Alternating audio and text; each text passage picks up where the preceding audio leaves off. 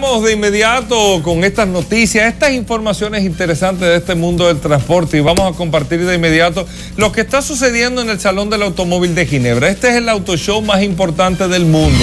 Arrancó el pasado lunes y ya le dimos la información que el mismo lunes se eligió en este salón el Car of the Year, que es el premio más importante de todo el mundo en la industria del automóvil. Y aquí están viendo este salón y las imágenes reales de lo que está pasando en esta semana, porque Ginebra se convierte en el show más importante por ser una ciudad y Suiza un país neutro, o sea, no fabrican, no tienen fábrica, no construyen, no son propietarios de de nacimiento de ninguna marca, entonces no tienen preferencia, a diferencia de lo que pasa en Alemania, en Francia, en Estados Unidos, en China, en Japón, donde los locales lógicamente siempre tienen mucho mayor protagonismo y esto es lo que le da ese sentido de ser neutro, le da esta, eh, esta, esta, este eh, eh, este, este punto especial a este Salón del Automóvil, que esta es su edición número 84, 84 años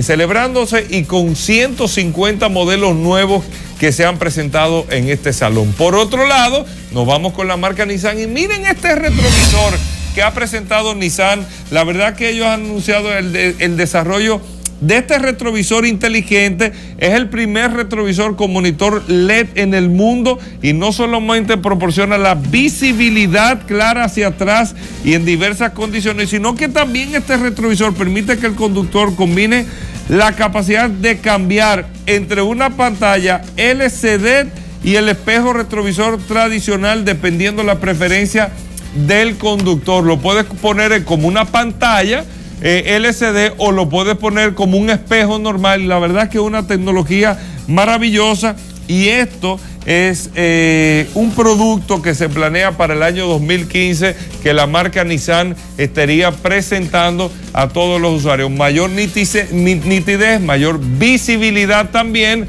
por el sistema de cámaras también que te proyectan con la cámara en la parte de atrás y tú tienes en el retrovisor exactamente lo que está sucediendo detrás del vehículo. Está maravilloso. Por último, un vehículo que todo el mundo está esperando.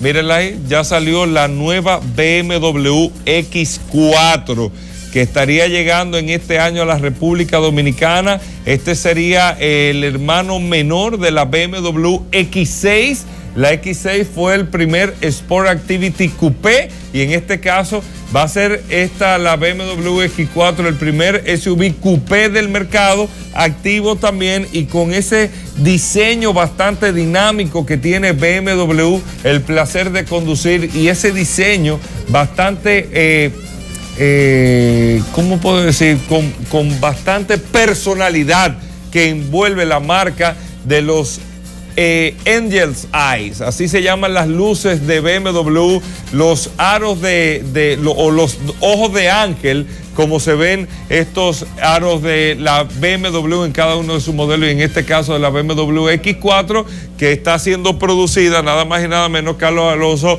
en Greenville, Spartanburg, en Carolina del Sur, la misma planta donde produce X6, X3 y X1, y ahora X5 también y ahora X4 y en esta planta de BMW es que se producen toda la serie de vehículos X para el mundo. ¿eh? Eh, todos los vehículos BMW que hay en el mundo se producen en Greenville, Spartanburg, en Carolina del Sur, para que ustedes tengan este dato. Así que hasta aquí las informaciones.